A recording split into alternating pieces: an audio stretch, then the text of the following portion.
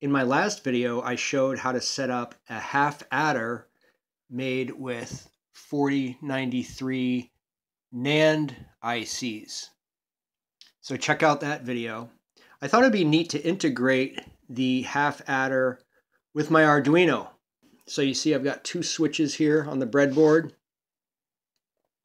And you can see right now, um, we've got a sum of zero and a carry of one because both switches are on and in binary 1 plus 1 equals 0 carry 1 which in the second place in binary a 1 is of course 2 and both switches are on. Now I'm posting the code here on the Arduino code.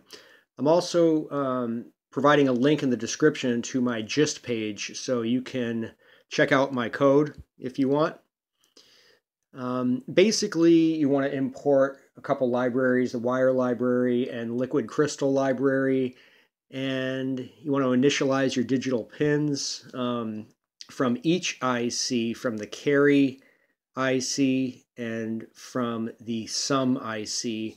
Initialize those as digital pins on the Arduino, and then basically a series of if-else statements uh, based on, you know, what's 0 and 1 at any given time with the switches. So that's all we got going on here. So let's check out the behavior here. I'll um, basically do a 1 plus 0 operation. And we see 1 plus 0 sum 1. One switch is on. And that's true if we change them that way. Now let's turn both off.